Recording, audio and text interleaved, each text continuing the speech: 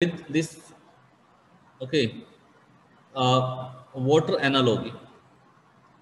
Now water analogy for example for example there is a tank. There is a tank which has some water in it. There is a tank which has certain water in it. Now this is let us say tank 1 and then there is one more tank which has again water but less water as compared to tank 1 so this is tank 2 for example. Now we have one pipe to which these two tanks are connected. Now what will happen? Some water will start flowing from this tank to this tank right? Until until this tank reaches to the same level. It reaches to the same level here like okay. So if this height and this height of the water is equal let us say it is h1 and this is h2 so if h1 and equal to h2 so um, you know this current will not flow so this water current will flow in pipe until H1 is not equal to H2 or H1 is greater than H2. This is very simple concept. This is what will happen, right? For example, if you have some, let us say something uh, rotating part here. Let us say some rotating turbine is connected here with some fans. Now this turbine will rotate in this direction till you have this water flowing till this water is flowing now if you want to make this water keep on flowing for long duration what you will do you will use a pump here a pump and you will connect this pump to this tank and to this tank.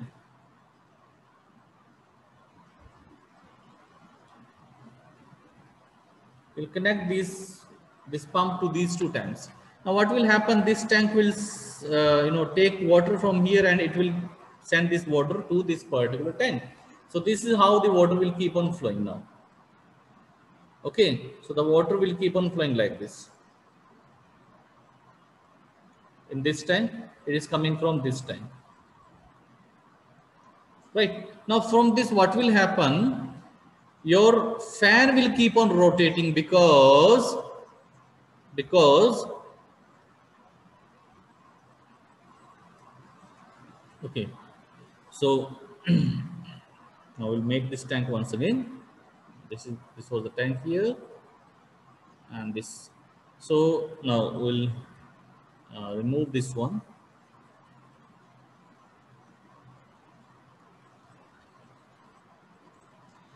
Now, now this particular tank, this particular fan will keep on rotating because your this pump is, you know, what it is it is doing. It is taking the water from uh, you know this particular tank and sending this water to this particular tank here, and this is how the water is circulating in one direction.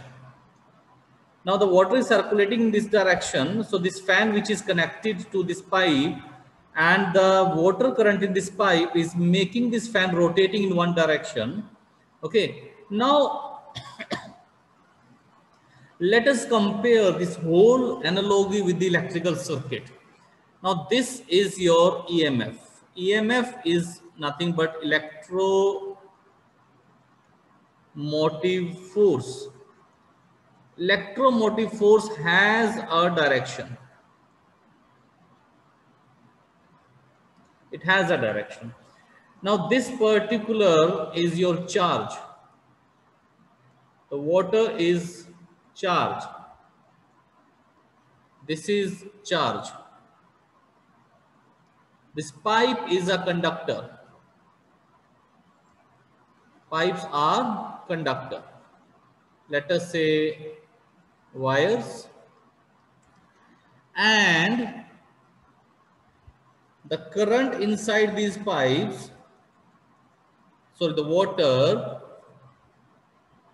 inside these pipes is current right? It is current. Now so this is what happens in an electrical circuit basically. You have a source uh, of voltage which is nothing but emf and it has a it is nothing but a force and it is applied in a particular direction. It has a direction right now if you change the direction of this force if this pump the direction of the water flow will change but to make this water keep on rotating in this particular path, you need to have this EMF here. If you remove this EMF, what will happen?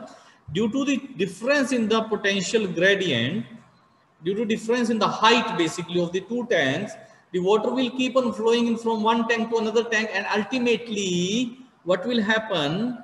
These two will settle down at certain height here. So when the uh, water will reduce to this level and water in this tank will increase to this level, your this particular water current will start, will stop. And this will also stop.